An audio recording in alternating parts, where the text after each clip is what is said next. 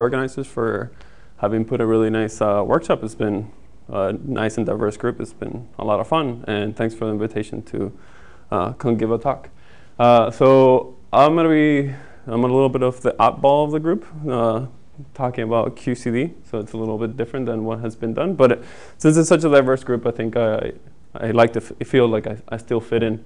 Uh, so I want to talk about the attempts that we're doing uh, in trying to study uh, few body systems directly from Lattice QCD. And when I mean few, I really mean very few. Uh, mostly I'll be talking about two-body physics, and then I'll give you a little glimpse of the challenges associated with studying three-body physics.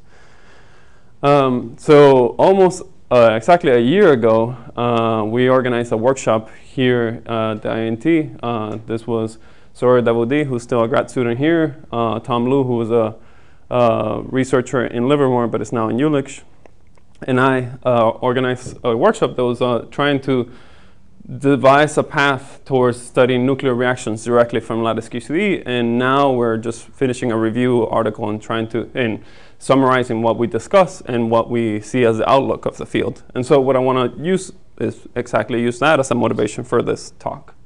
Uh, and what I've done is that I've divi I divided my this is my personal view and doesn't reflect the views of the rest of the organizers, but I divide, divided things into three different categories. One which is spectroscopy slash scattering, the other ones which is form factors, and the other one, the last one which is uh, fundamental symmetries.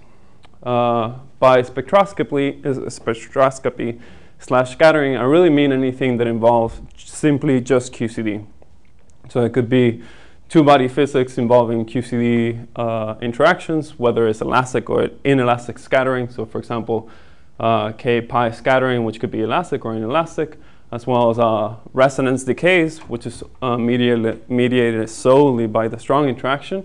And then also bound states, such as the H-dibaryon, which is uh, hypothesized as a possible bound state, or also the three neutron force. In form factors, I just mean uh, anything involving a matrix element of an external current, which could be QED or uh, electroweak, or even uh, anything involving some exotic, uh, some, something beyond the standard model. But here, these two examples solely involve QED. So this would be two examples of uh, meson photoproduction with an external current that, emit, that injects both energy and momentum. And then finally, fundamental symmetries really, we mean uh, things involving the weak interaction. So for example, uh, as we were discussing earlier this week, there would be a, uh, it would be of great interest to uh, disentangle the strong piece of the double beta decay uh, transition amplitude. And something that has been extensively studied for in um, the lattices k to pi pi. Uh, all of these uh, are just examples of a wide category of phenomena that you know involve a great deal, that have overlap with a great deal of experiments. Uh, the one experiment that I'll showcase is the one of my home institution, which is uh, an experiment which is trying to study the uh, um, X, uh, so it's called GlueX in Jefferson Lab, and it's coming up uh, next year. And what it's attempting to study is, as the name suggests, is gluonic excitations of the mesonic spectrum. So this, this is a little picture of the experiment. What it is is you have an electron beam that emits a photon is a hard photon that uh, hits a proton target, so it's just a hydrogen target, uh, and it goes uh, via meson photoproduction. You create a wide range of uh, mesons that are then detected. Uh, and what you're hoping is that you find exotic mesons that have the quantum numbers that suggest that there are gluonic excitations in the spectrum. and so having these experiments, so JLab has been really pushing the frontier and trying to connect these sorts of experiments with lattice QCD directly. Uh, and since this is a universality workshop, uh, I don't know if we've, we've, put this plot yet, but this is a famous Efimov uh, plot. Uh, and what you have, so what this depicts is, you know, this is a, the two-body scattering length. Here's the positive, uh, so these are uh, attractive interactions, repulsive interactions, and here are scattering states two body bound states interacting with a, uh, a, spectator particle and then three body bound states. And we know that nuclear physics is near unitarity, but these scattering lengths are a function of the pi mass. So uh, far into the future, we'll be able to perform calculations at the physical point and away from the physical point as we choose. You can imagine that we'll be able to disentangle uh, this spectrum as a function of the scattering length, which is really a function of the prime mass directly from lattice QCD, since quark masses are our inputs to the calculations. So can you comment on where you are right now with the lattice QCD on this plot? In this plot, okay. So I can tell you that the, the, the light, lightest masses at which uh, light nuclei have been calculated is in the order of 500 slash between 400 and 500 MeV. Uh, I would say I would argue that the the that being said, the probably the most rigorous calculations have been done at even higher uh, pion masses. So we're still a little bit far away, but the technical issues are for the most part understood. It's just a matter of having enough computational power to dial it down. In the mesonic sector, we're you know, we've been able to do simpler calculations at the physical point, and then by we, I mean the field, not personally. Uh, but you know, uh, the more complicated calculations have to be done at, at really heavy pi masses. You have to understand systematics and then dial the pi mass down. So that's, uh, pi pi is being done with physical masses. That's right. Yeah. So that's a good example where you can do things at the physical. But nuclei, they're hard. Is one of the increasing function or increasing function of every pi? Uh, so I would, so that, that's a good question. Uh, it depends. So which channel? What's that? Yeah, it depends on the time. It depends on the channel, right? Um, so for example, the dineutron is not a bound state at the physical point, but then it becomes uh, it becomes a bound state away from the physical point. So for heavy pi masses, there is a dineutron bound state. So it becomes an attractive. So Can you go back to the previous slide just quickly? So how well are these uh, boundaries known from? For- just- yeah, this one, yeah. mhm. I mean, between sort of this this uh, pairing plus one versus Efimov physics. for nuclear physics, Yeah. this is just a cartoon. We haven't. I mean, I don't think that there's any. I have no idea if we even know what these boundaries look like. As of, I mean, if you dial the the the mass, I mean, uh, the only way to do it is lattice QC, right? Uh, I mean, you can use some. You can use ChPT uh, uh, very close to the physical point, but your error bars just. I didn't know if there was estimates based on sort of corrections to unitarity, things like that. Mm, I just didn't know how much is known about this picture at all. yeah, I don't know. I mean, I'm, uh, maybe some some other people. I would be, you know, I would say we probably know zero, but that you know very close to zero, but that would. I, I'm sure some people would have a stronger opinion than that. Do you have every model you need both the neutrons and the protons? Because with the neutrons, you have spin up, spin down. There's a two combinatorial gas with large scattering. Mm-hmm. There's no uh, Yeah. So okay. Yeah, you might. There's no three-body interaction for three identical. If you think of just S wave, right? Mhm, Yes. Yes, that's true. Yeah, you, you're, that is true. Okay. All right. So I've mentioned lattice QCD. I'm not going to talk about in great detail what it involves, but the idea is quite simple. You grab the QCD Lagrangian, you discretize it. The inputs into the Lagrangian are solely the masses of the quarks and the coupling, uh, the coupling between the gluons and the quarks. You put it into a computer, you run your calculation, and now it should come out hadronic physics. I'll give you a little more substance into that. Uh, so what we actually have to do is that you need to discretize your spacetime. You introduce some lattice spacing A, which is a separation between all spacetime points. You need to introduce some. Um, you need to furthermore truncate your your your volume because of finite computational memory. So L here denotes the spatial extent of the lattice, and T denotes the temporal extent of the lattice. Uh, as in order to be able to perform Monte Carlo uh, simulations, we need to uh, wick rotate our spacetime into a Euclidean one. If we have a finite volume, we need to define a set of boundary conditions. Typically, we, we use uh, typically uh, periodic boundary conditions are used, but you can use anti-periodic in the spatial extent as well, or twisted boundary conditions in general, or Dirichlet even. Um, and I'll be considering anything that is periodic or twisted. Uh, and of course, you're doing it in four dimensions. This is just a two-dimensional analog.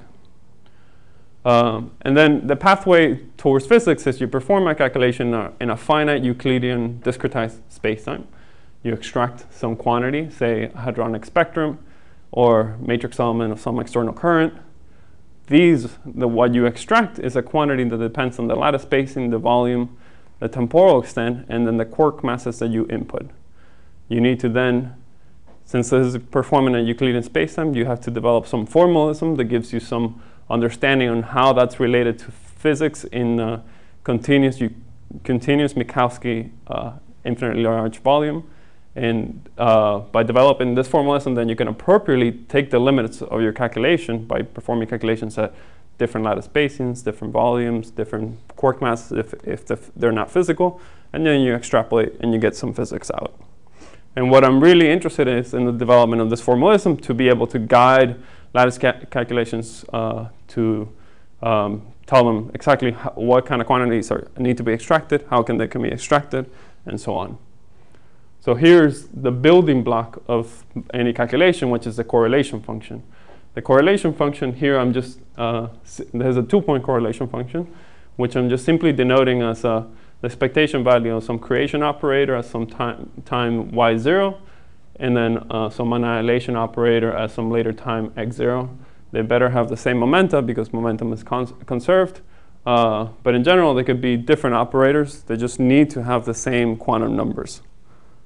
Uh, by inserting a complete set of states in the middle, you get this identity that basically this operator, you can write as expectation value of these operators sandwiched with some eigenstate of the finite volume Euclidean uh, Hamiltonian so the finite volume uh, Hamiltonian, uh, and then um, you get out the spectrum from here. So that is, uh, from this identity, we know that we can extract the spectrum, and this is actually one of the uh, main tools used in calculations. Uh, but really, this I could have also written this using a path integral uh, representation of this correlation function. And here you see the Euclidean spacetime action coming in, and that's why we had to wick rotate. If I would have had a, uh, perform, uh, would have enforced a, would have done a calculation, for example, in a Minkowski spa uh, spacetime, then this would have been e to the i, uh, Euclidean uh, Minkowski action, and then I wouldn't have a definite positive probability density to then be able to use Monte Carlo uh, techniques to evaluate this path integral. In general, if you have a system, let's say I'm just thinking about an infinite volume, any state can be identified by a set of quantum numbers, say J, Mj, so the total angular momentum, that's the azimuthal component, uh, parity, the uh, orbital angular momentum spin, and then some other quantum number, say, you know, some other quantity, say that I count the number of particles or I can identify some, some uh, index associated with flavor space. In general, if I have some incoming state, QCD requires that the, the outgoing states have the same J, Mj, parity, but the LS could vary, and also this other arbitrary number B could also vary. Um, if I then put this in a box, uh, J and MJ, because uh, for example, if I put things in a cubic box, I no longer have full rotational symmetry, so uh, orbital um, total angular momentum should not be conserved, and furthermore, parity in general is not conserved. So, so in principle, if you put things in a box, as I've written these states, everything could vary. Um, but things get simple, quite a bit simpler if you think about some simple examples. So for example, if I put a, a simple, a, a single particle inside of a box uh, and impose periodic boundary conditions, then I have mirror images in every possible direction. I calculate the correlation function and I look at the ground state and I get some finite volume energy coming out.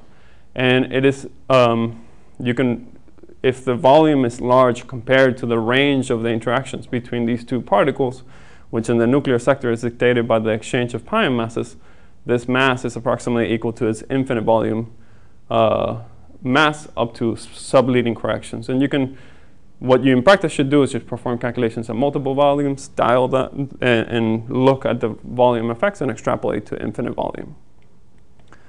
If you have a bound state, uh, things get complicated because you have uh, two different sets of scales. So if I have a set of mirror images in all possible directions, which I didn't draw just uh, for simplicity, there are two scales. One is the interaction between the bound state and the mirror images, which is again dictated by the long tail, the, the nuclear force. And then also you have the, the size of this object compared to the volume.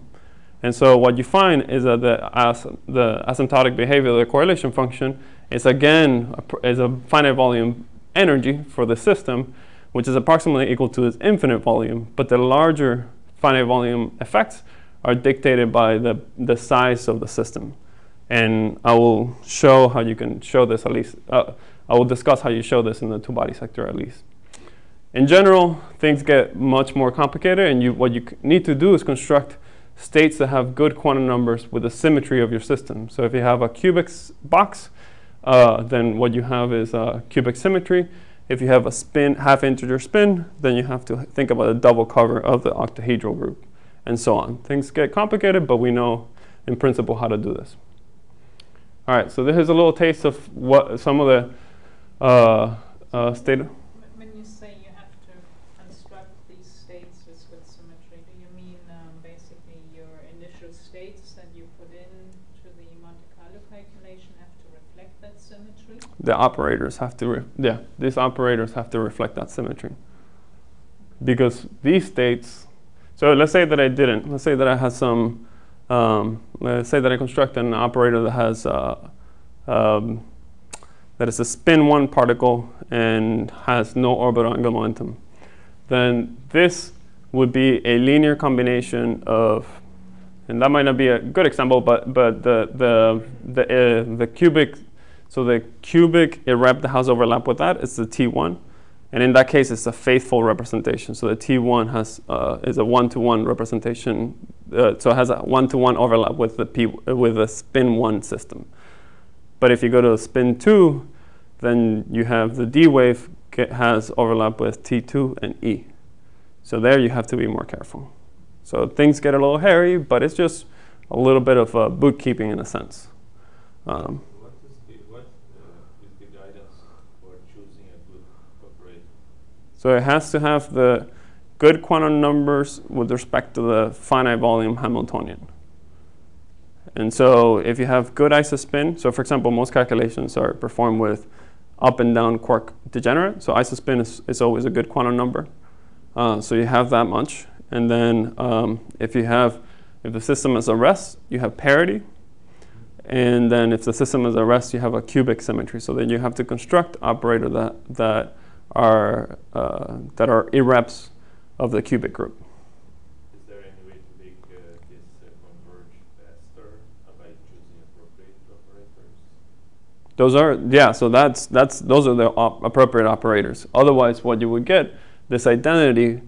For example, you would have an identity that you in order to have what you would have here is a sum over all possible irreps that have overlap with this operator. So if you constructed an operator that just has infinite volume symmetry, then you would have an infinite sum of all possible cubic, oh, not an infinite sum, it would be a finite sum of all possible cubic irreps that have overlap with uh, that infinite volume uh, orbital angular momentum state. But more than that, you can make the operators bigger so they have a better overlap with the states. Oh, yeah. In that sense, you can make the excited states less important. Yeah, you, you have a lot of freedom in how you, yeah, there's many different types of operators that have the same quantum number in the infinite volume. You can smear, uh, you can have point, so there's many different operators that you can construct that have the same. So you have a lot of freedom.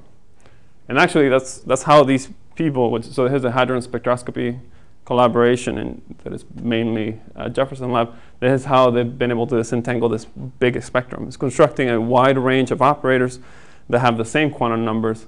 So here is a tower of states uh, that are identified by their JPC quantum numbers, and I see that you can't very you can't see it very well, but this is zero minus plus, uh, one plus minus. I think I can't see it even there. No, one minus minus. so- Sorry, yeah, uh, and so on. So these are you know each one of these uh, represent a state that you extract from the a lattice calculation, and these are performed at approximately 400 MeV pi masses, and they're at a single volume. Uh, so, so this the okay, so I've answered my own question. so the mesonic sector is much easier. The baryonic sector is, is extremely hard. There's a, a signal to noise problem that we discussed um, earlier in this week in Monte Carlo calculations. So it also permeates. It also it also appears in the in lattice QCD for the nuclear sector. So if you even, I mean, the hope of having this much uh, resolution for the spectrum in the nuclear sector is, is far uh, down the line. Uh, so this is why the mesonic sector is so uh, powerful. But the question that I'm after is how do you interpret the spectrum? You know, in principle, you would look at this and you would say, aha, there's some energy level at this, uh, at this energy, and that tells me that there, if I want to think of, you know, the way that we've thought about things thus far is that this looks like possibly a resonance in the infinite volume with that given energy. Uh, and that is naive, you know, that gives you a nice fuzzy feeling, but the story ends up being a little bit more complicated than that.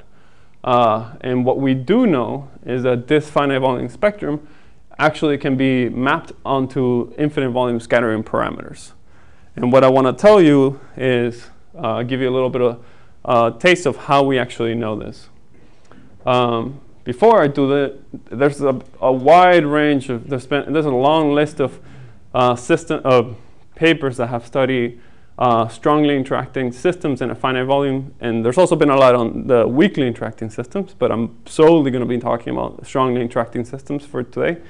Uh, and uh, what I just wanted to point out is that there's uh, quite a bit of UW uh, representation. Uh, and I would say that it's fair to say that the first study that non-perturbatively that, that treated non-perturbative systems in a finite volume was by Lüscher, hence why this is, formalism is typically referred to as Lüscher formalism, even though there was previous studies that were and that studied non-perturbative physics. Um, okay, so just to give you a little bit of taste on how we actually know this mapping between the finite volume spectrum and the infinite volume scattering phase shift holds, I thought we'd look at a, a simple one-dimensional problem. So this is a this is L, this is my box. Uh, I impose some periodic boundary conditions, so I just write it in a circle. I just draw a circle. And this is my wave function for the state. Uh, with asymptotic, well, the, it's just a plane wave. If I impose periodic con boundary conditions, it just means that at L, the wave function has to be equal to that value at the origin. And that puts a constraint on the momenta that are allowed. And that's exactly what you expect. So n here is just some integer. If I then put two particles in my box, and I set x to be the separation between these two, and p to be the relative momenta, then the wave function uh, is again a plane wave with a phase that has been shifted by 2 delta. Uh, and this is the infinite volume phase shift of the system, which is a function of momentum. If I again impose periodic boundary conditions, so I get the, I require that the wave function is equal at L as it is at the origin, I get this condition for the, for the spectrum. So this is a self-consistent equation that the momenta should be should satisfy. So this is a function of momenta, this is a momentum, and then n is just some integer that goes from zero to infinity. So just to give you a little taste on uh, what we actually do in a lattice calculation, this is again the that equation, the quantization condition. And I've cooked up some, some phase shift that is just a simple polynomial of the momentum. And I input it through this equation, and I set n equals 0, and this is what I got for p. If I set n equals 1, this is what I get for p. n equals 2, 3, and so on. And this is the momenta as a function of volume. And this is the phase shift as a function of energy, or momentum. And, but what we actually do on a lattice calculation is you set the volume to some number, you extract some, you construct some set of operators that gives you so, some determination of the spectrum, and you extract some spectrum, uh, some, energy, some energy level. I then put that energy level through this function, I set n equals zero, and that gives me a constraint on the phase shift at that energy level. So that tells me, this equation tells me that the momentum, that the phase shift at the momentum being equal to zero when I set n equals to 0 here, I get that the phase shift is 0. If I then extract this energy level, I put it through this equation, I then get the phase shift at that energy. If I just dial the volume, then I get another determination for the phase shift, and so on. So slowly, by determining the spectrum, I begin to constrain the infinite volume phase shift. And so what you end up looking, uh, uh, determining looks kind of like experiment. You end up getting a bunch of data points of, and then I say data points, but you end up getting a, a, a bunch of uh, determinations of the phase shifts with some error bars, and then you can then proceed to fit, fit that to be able to get some uh, determination of the phase shift. So that's the one plus that's a one plus one dimensional system. Now I'll tell you. Oh, sorry. I'll give you a sketch on how you can generalize this formalism for 3 plus 1 systems with uh, arbitrary quantum numbers. So again, what we're after is the correlation function. And so by looking at the poles of the Fourier transform of this object, that gives me a constraint of the full correlation function. Uh, that gives me a constraint of this of the spectrum uh, in a finite volume. So uh, what I want to do is Fourier transform this object and then uh, evaluate it diagrammatically and look at the poles of the correlation function. So the Fourier transform of this of this is equal to this. So it depends on the total momentum and the relative momenta. And here what I have is some, uh, let's, okay, so I create a two particle state, I let it propagate and I annihilate at some later time. Uh, both of the particles have to carry discretized momenta, so I divide it as k and the other one carries p minus k. And these propagators are uh, fully dressed propagators, so they include every single possible uh, um, diagram. So it includes, it's just a geometric series of one pi diagrams, so it includes all possible bubbles. Uh, I can then insert a single uh, kernel, uh, so I can insert a and I should say, this is a, a, so this is an extension. What I what I'm doing here is an extension of work that Steve uh, Sharpe did with his collaborators in 2005.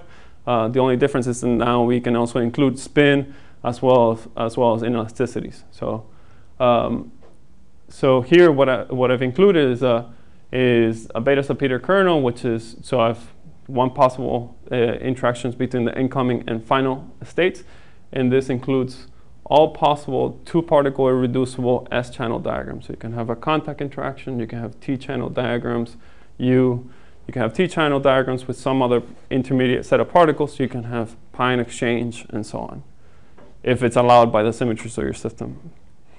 And this kernel is related to the fully dressed, the full uh, infinite volume scattering amplitude in this self-consistent equation.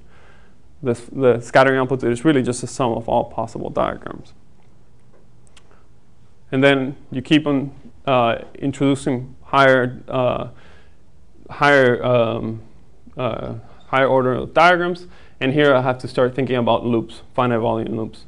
And what you can show, as I said, uh, uh, what Kim Sachrajda and Sharpe showed is that the difference between this finite volume loop and its infinite volume counterpart uh, can be depends solely on a, on a function that depends on the on-shell uh, the on-shell states of these intermediate particles. And it is because the on-shell states, so the on-shell uh, two-particle states, can then propagate and sample the boundaries of your volume. This is why you would expect there to be a, a large volume correction associated with these states.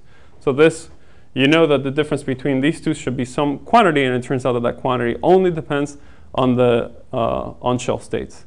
And so these kernels I can then evaluate it on shell, and in, and in between them, I have some function that depends on the on-shell momentum. And so what I've done is represented these kernels in a matrix representation. So they're matrices that depend on the total angular momentum as well as the orbital angular momentum and the spin of the system.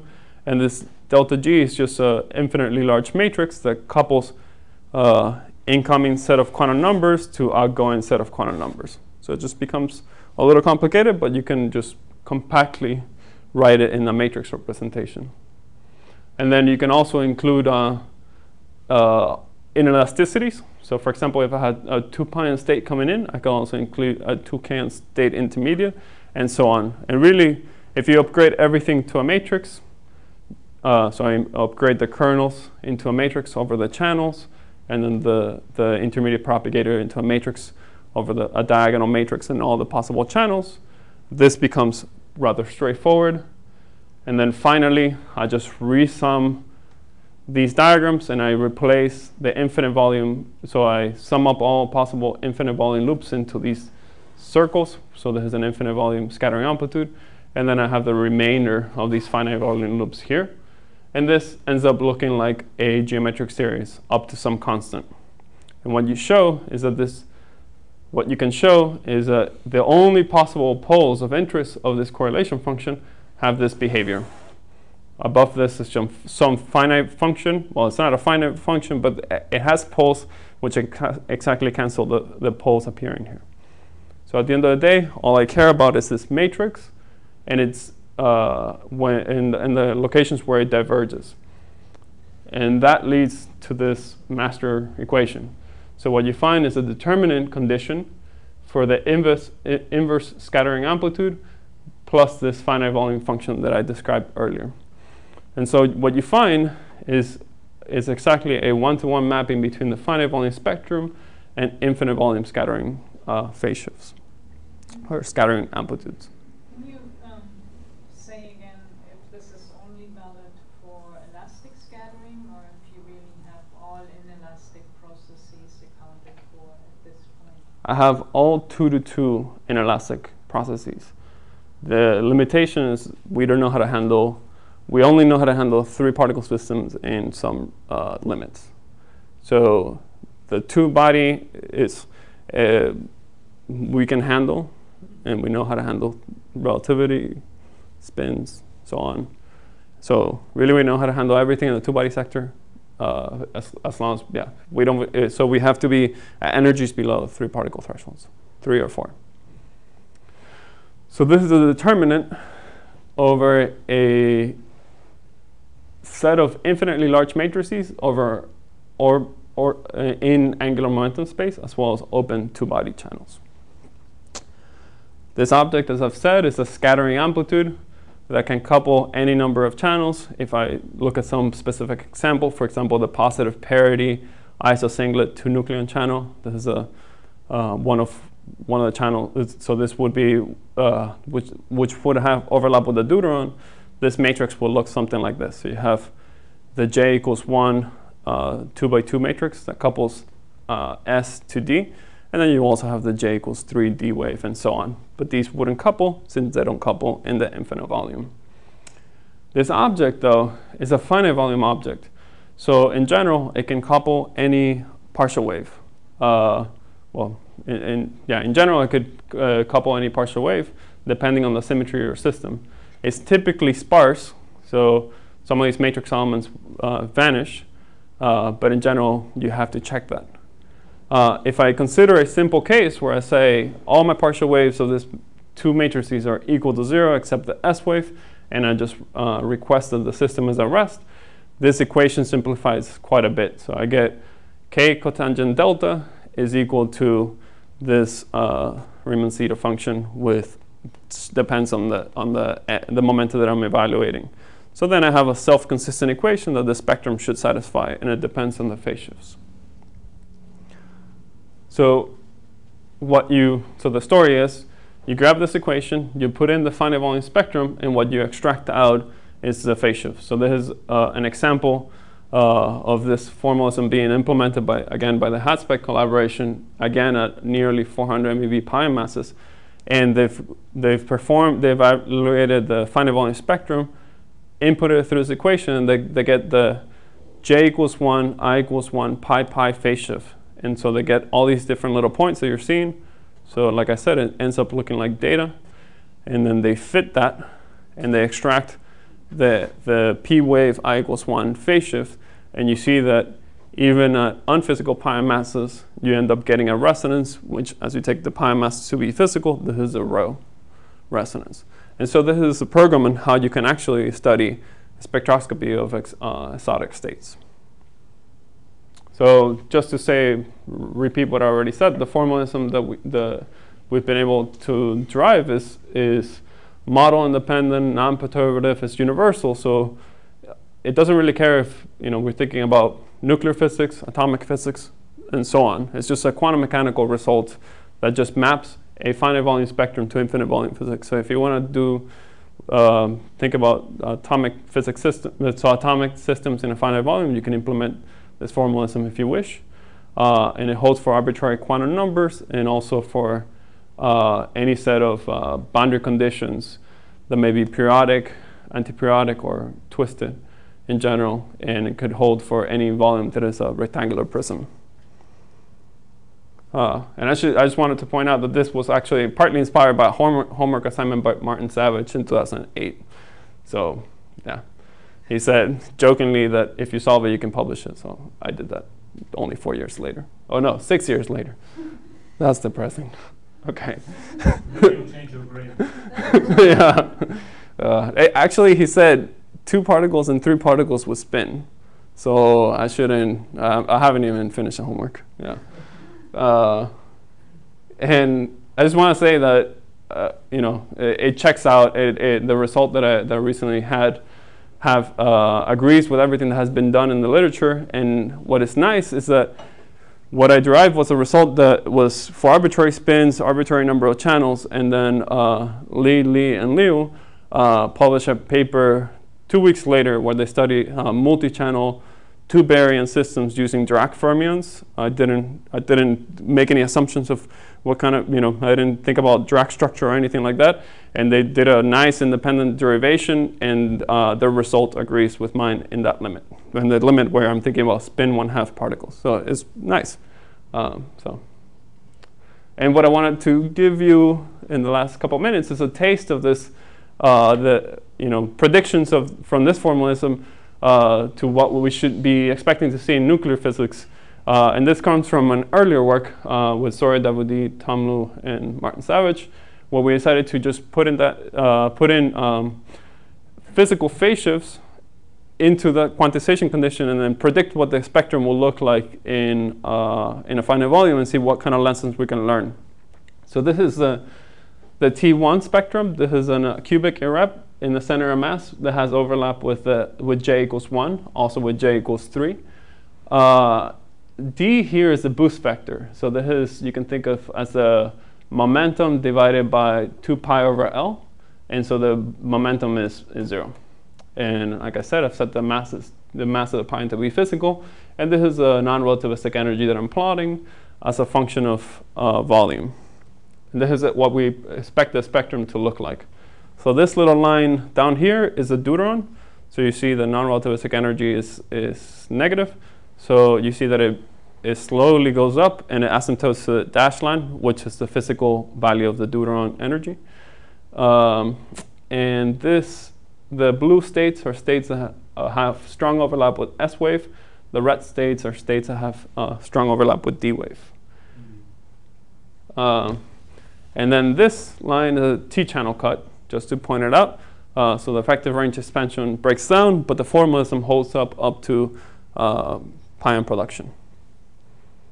So a little closer look. Um, so just to remind you, the J equals 1 uh, scattering amplitude is a 2 by 2 matrix the off-diagonal uh, sides of the off-diagonal terms of the scattering amplitude are proportional to sine epsilon, which is the mixing angle. And uh, the mixing angle is a very small quantity at the physical point. So this is uh, in degrees, and so this is approximately one degree at about 60 MeV. So Q is the relative momenta. So it's a, it's a tiny phase, it's a, yeah, it's a tiny angle. And so what we decided to look at is turn on and off the, the mixing angle and see how the spectrum changes. So what I'm plotting here is the excited states, the first, second, third, and fourth. Uh, and what, I've, uh, what we've evaluated is the spectrum with epsilon being on and epsilon being off, and just look at the differences. So this is a S wave, first excited state, and this is a D wave, D wave, S wave, and so on. And what you find is that the spectrum, the difference between epsilon being on and off is at the keV level, which if you're seeing any lattice calculation, that's the level of precision that we'll probably never get. Uh, so it's a little bit depressing because this mixing angle is associated with the tensor force. So you know, it would tell us that by looking at the spectrum at rest, we cannot extract the, the tensor force. And then we also looked, so here's a little close-up of what we expect the, the, the deuteron to look like. So this is again the, the deuteron asymptoting to its infinite volume uh, limit. And again, look, we looked at the difference between when the epsilon is on and off, and what we find is that it's practically, uh, that difference is practically zero. So the, the deuteron uh, in a finite volume is, uh, is, a, is mostly S wave. And so then we decided to look at a boosted system. So we decided to boost the, the deuteron and the z axis. And uh, so here, let me show you first what you get if you set the d wave phase shifts, all the d wave phase shifts, and epsilon to zero. So here's just a simple S wave uh, energy level. And this is what you get. And this was predicted by two different groups. If you then uh, include uh, d wave and, and epsilon, you get that there are two different energy levels. One, which is the A2 irrep, which basically you can think of as a deuteron having zero helicity. So I'm boosting it along the z-axis and I just give it zero helicity. And the E irrep is a two-dimensional irrep, uh, which is basically um, uh, a symmetric and antisymmetric linear combination of the deuteron having positive helicity and negative helicity. Uh, and what you see is that these two split in a finite volume, but they both asymptote to the physical uh, deuteron energy. But these are uh, large volumes for lattice QCD standards. So if you're doing some uh, uh, real, I mean, like a large computation uh, calculation of nuclear physics, you might want to look at uh, Fermi boxes that are up here. But lattice QCD calculations, I mean, this is uh, larger than any calculation that has been done to this day. So we're really in this regime.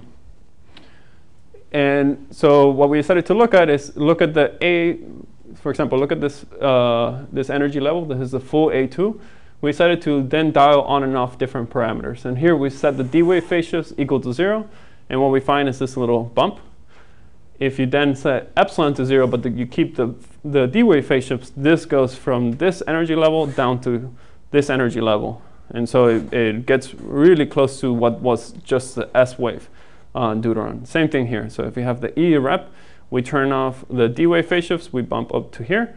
If we then turn up epsilon but keep the D wave phase shifts, we go down to here. And so that tells us that this gap between these two energy levels is mostly epsilon. It's mostly due to epsilon and it's also due to a sign of epsilon. So if we switch epsilon, these two guys would switch order.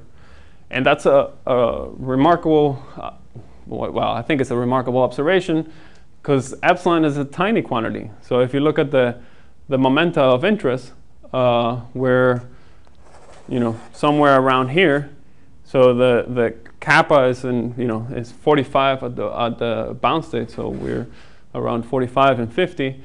At that, uh, for those energies, the epsilon is in the order of two to three, negative two or three degrees. So there's a tiny quantity having a order one effect in the spectrum. So there's a one MeV gap in a two MeV bound state. What is the meaning of kappa? Kappa is equal to, so I've set K, so the uh, momentum is equal to I kappa. So that's a binding momentum. So the take home message is that making an, uh, an approximation that is suitable for infinite volume physics might just lead to an order one uh, error in a finite volume. And so we really have to, if we want to think about non-perturbative systems in a finite volume, we really have to do non-perturbative uh, analytical derivations of the mapping between the finite volume spectrum and infinite volume physics. And then we proceeded, oh, I took a slide out, but that would be, that's fine. So we, we did a, a, a, study of an estimate of how well you can extract epsilon as well as the binding energy uh, at really low volumes, and you can do a really good job by thinking about different boosts. Uh, and yeah, I won't have time to show that. I'll just skip ahead. So, I just have a question. So I guess from old nuclear physics, we know that the deuteron has a small d-wave component. Mm-hmm. You're saying when, when you do these calculations, you actually have to do them without any d-wave? Oh, so that's so when you put in, so we don't have the advantage of turning on and off anything. We'll just put in quark masses and then nuclear physics comes out. So, you know, what we wh- what I'm saying is that when you do the lattice calculation, assuming the yeah, assuming that the phase shifts that we use are correct and everything works out, what you would get is two different energy levels at this volume, and that's it. And then we have to have some interpretation of those energy levels. So if we would have assumed that the D wave component, so the epsilon, the, the mixing angle, was zero in analyzing the spectrum, we would have gotten a wrong mapping to the infinite volume spectrum or the, the infinite volume physics. And what we're saying is that really you need to keep track of everything and you have to, using the non-perturbative uh, derivation of this formalism, you have to test that quantities really vanish in, and that they, they lead to a small effect. In general, they could be a large effect. So you need to be really careful. And so what I want to leave you with is a, a little bit of a qualitative story of where things stand. So um, it, I think it's fair to say that if we I do the, the two-dimensional analog of Efimov, the Efimov plot, it's fair to say that at this point we, we know the two-body sector uh, extremely well. We can do we can we know uh, we know how to deal with bound states with and without spin. We know how to deal with uh, uh, scattering states, whether they're repulsive or attractive, with arbitrary magnitudes of their interactions. And we know how to deal with inelasticities and so on, with any number of inelasticities as, well, as long as they're, uh, they're two-body. In the three-body sector, um, thus far, everything that has been done is regarding spinless identical particles. So uh, what we're starting to do is, is map out how can we study the three-body sector um, uh, using finite volume physics. And what I would argue is that there are, the, well, not argue, but uh, I think it's, it's, fair to assess that there have been two classes of studies so far. Uh, one that was uh, done by Zohreh Davoudi and I, where we looked at the, uh, the three-body problem and decided to just simply dial the interaction to be strongly interactive, uh, and slowly, att strongly attractive, sorry, and where you, you uh, you get a two-body bound state and found that the three-body problem ends up looking quite a bit like a two-body problem with uh, corrections that are dictated by the size of the two-body volume, uh, two-body system compared to the volume. Uh, and as you take the the energy to be so as you take the bound state to be uh, nearly unbound, these vo uh, volume effects get rather large. There's also been uh, uh, really exciting, promising work by uh, Steve Sharpe and Max Hansen, and as well as uh, collaborators in Germany. So these are two different groups, uh, I should say. This is older work and where they, uh, Polejaeva and Akaki Rusetsky looked at non-relativistic spinless systems, and now Max Hansen and Steve Sharpe are looking at non-relativistic, non-relativistic spinless systems. Relativistic, sorry, relativistic spinless systems. Uh, uh, and what they've been able to show is that their non-perturbative formalism holds at least for uh, um, repulsive systems. Is that fair to say? Yeah? Okay. Uh, and there's still, what we're still trying to connect is how can we start mapping out uh, the rest of the spectrum uh, using a model independent, strongly interactive, and be able to connect the bound states as well as scattering states. Uh, and it's, it's, it's, it's, shown to be really challenging. So there's still quite a bit of work to be done in the three-body sector. And also, once we understand spinless systems, we need to move on to spin full systems as well as non-identical particles. And finally, I want to go back to this uh, um, the sets of systems that we that I introduced earlier in the in the in the talk, and um, I decided to um, give a little taste of where things uh, stand. And this is my personal, very biased uh, estimate of where things stand. So if you object to this, please yell at me, uh, and I'll gladly change it. Uh, but there's so what I've decided to do is include a box that describes the status of formalism as well as systematics, understanding of systematic and so on a little circle that uh, tells us where the code development of these calculations stands and if there's been any lattice QCD calculation on them. So I put in a box and a circle next to everything. Uh, and first I will give what I think are, uh, well, So here, I identify a check mark for things being completely under control, uh, and uh, exclamation mark where there's been exciting progress but much more to be done, and a question mark to basically suggest that it's a really an open problem and a lot more work needs to be done. So let's first look at the check marks. Uh, I think it would be hard to argue that the two-body, uh, argue against the fact that it's fair to say that the two-body system is well under control. We know how to uh, study uh, elastic as well as inelastic two-body systems. Uh, there's been quite a bit of calculations that just need to implement the formalism and be able to study inelasticities, inelasticities in, in the two-body sector. We know how to deal with bound states and uh, things involving, you know, k to pi pi has been done at the physical point. It's been uh, remarkable success. So these are things that really are under control uh, and what things that uh, still there's quite a bit of work to be done is regarding um, more than two-body physics, so three-body sector.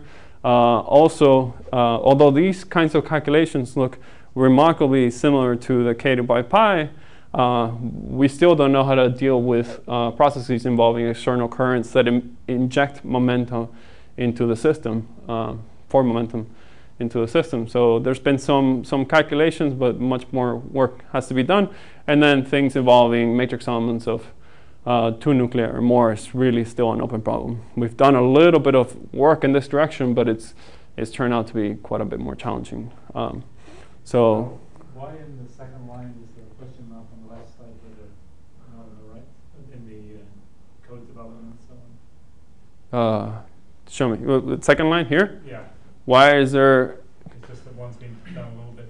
There's been, I, I think there's, I mean, there's certainly been work on this. I don't think there's any been any work on this. Matter of who's done some work. Right. So I mean, I think this is actually easier Right. than this. Yeah. But the thing is that so here t- what has been done, and Huey-Wen might be more familiar with this, is you uh, people have looked at uh, a nucleon operator in, introducing some external current and then some delta-like operator, but the delta hasn't been treated as a resonance yet, and so this would be easier. But I don't think there's been even has uh, uh, uh, pion to rho, for example. Um, so. Yeah, so with that, uh, I will leave you with this, and I'd like to thank you all for your attention.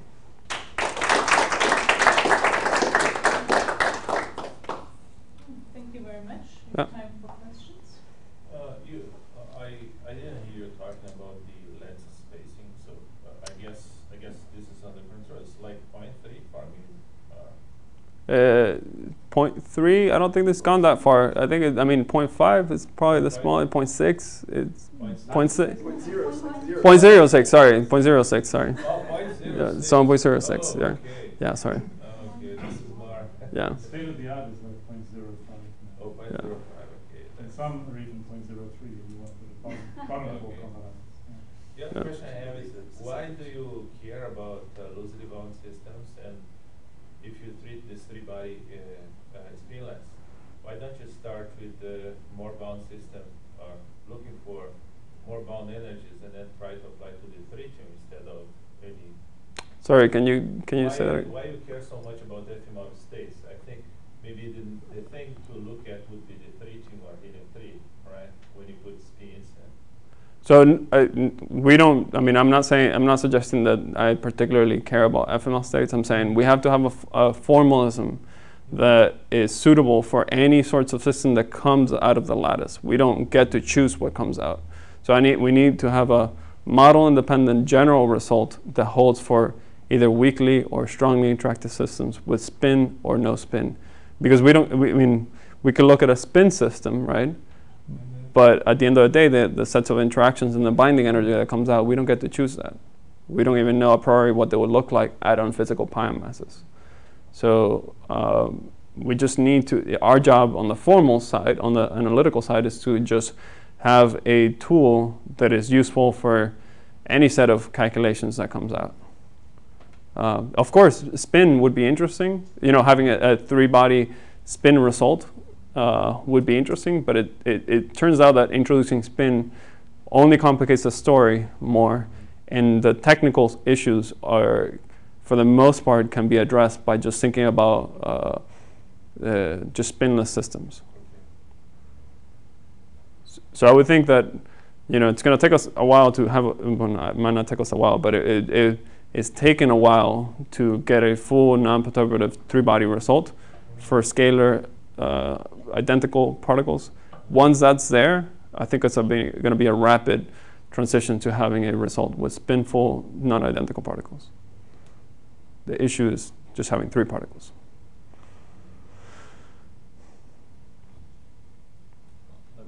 So I asked a lattice person once, like, you know, how come it's so hard to calculate a baryon?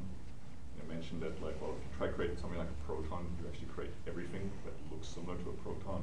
You have to run your calculation very, very long for the final state that comes out. It's really the ground state. Mm-hmm. But I don't understand how do the pion masses enter into this?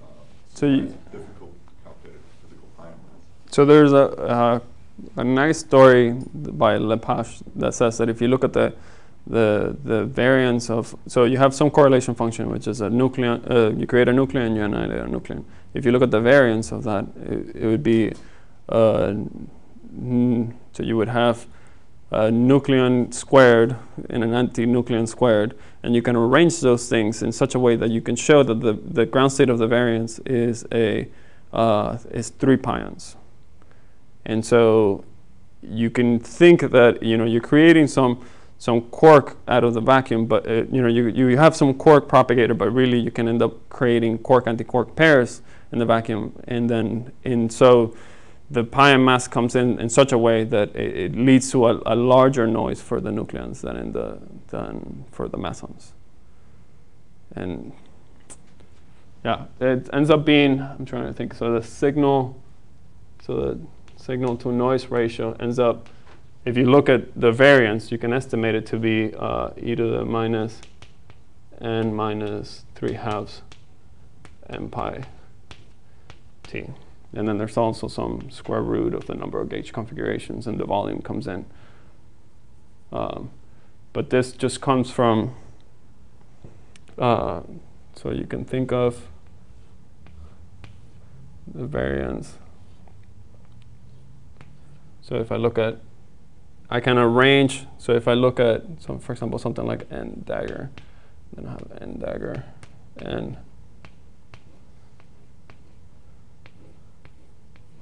I can arrange things in such a way that, uh, you know, I have three quarks and three antiquarks in, in the variance, and I can arrange things so that I have, uh, end up having three pions being emitted.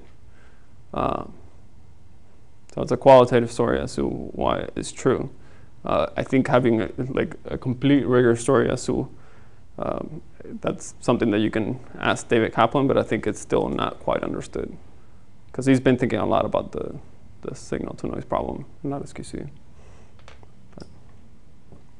Sort of naively, I would think that there should be some optimal lattice size, right? In the sense that, I mean, on the one hand, I want a really big lattice Mhm. because I want to get rid of finite volume effects. But on the other hand, if I make my lattice bigger, then um, all my states become a lot denser, and Yeah. so I need a lot more accuracy.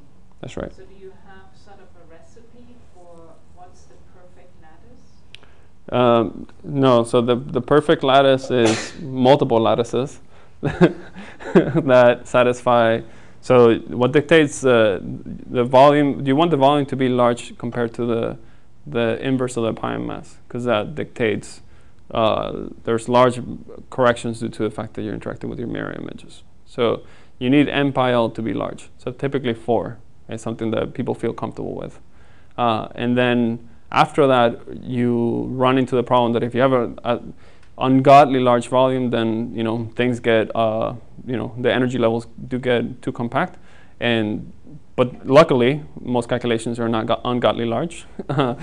so what you really need is you know multiple volumes. Typically, so for example, the HadSpec collaboration does uh, calculations at and also NPLQCD and other co- collaborations typically do at three different volumes, starting at MPIL 4 roughly, and then MPIL of like 4.3 and so on. And then as many volumes as you can get gives you more information because this, this, this uh, formalism, for instance, gives you insight into, you know, for different volumes, you have different energy levels, so you have different constraints on the phase shifts, for example. So the more volumes, the better. Yeah. Yeah. So the question I bring up from time to time when I see sort of these KEV shifts that you need for certain properties um, is if you put an external probe in a lattice QCD calculation, one that you have theoretical control over.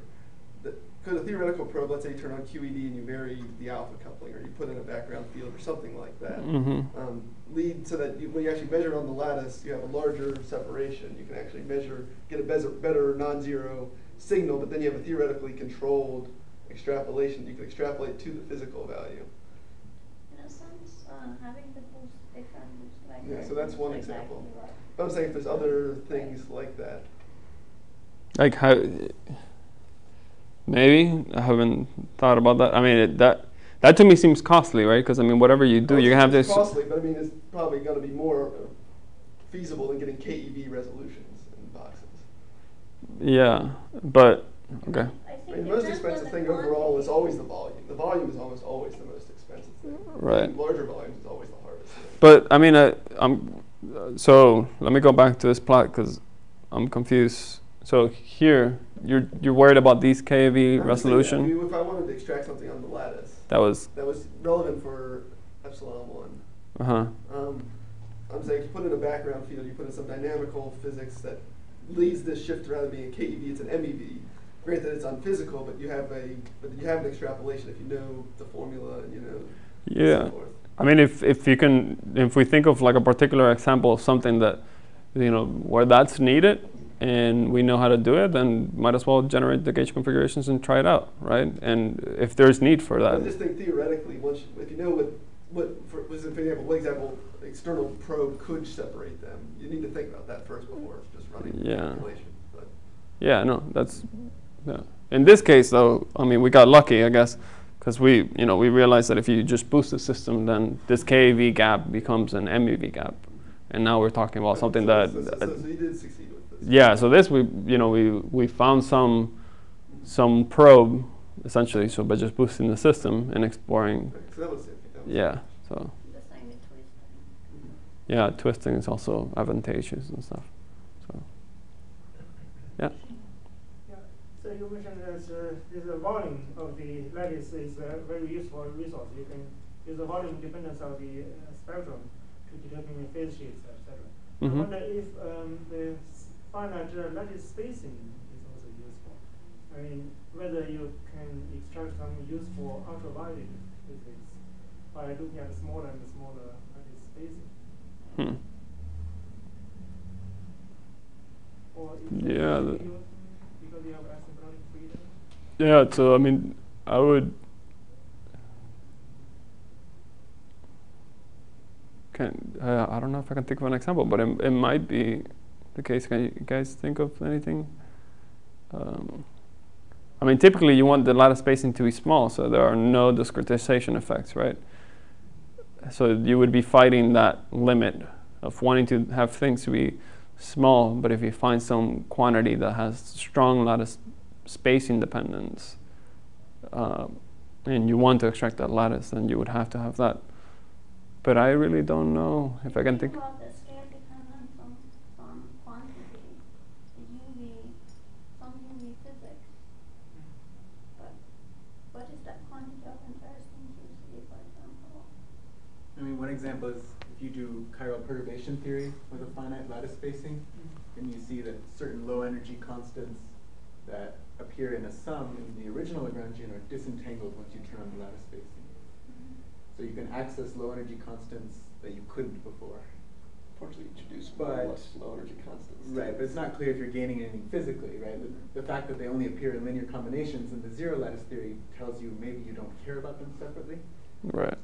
But for example, if you want to know the spectrum of the Dirac operator at finite lattice spacing, then you care about them separately. So it's a question of what we would count as physical information, but there is certainly information that people write about. hmm How about uh, high energy, high energy scale uh, physical observables, like uh, Right, collision at very high energies? right. That I don't know any work about that. Yeah, I don't know.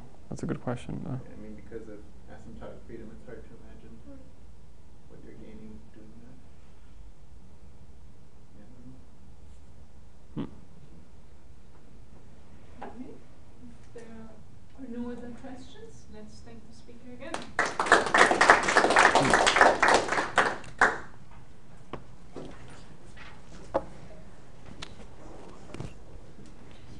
So, Great talk, man. You good? huh? Thanks, man. Um, how do I turn it? Scott?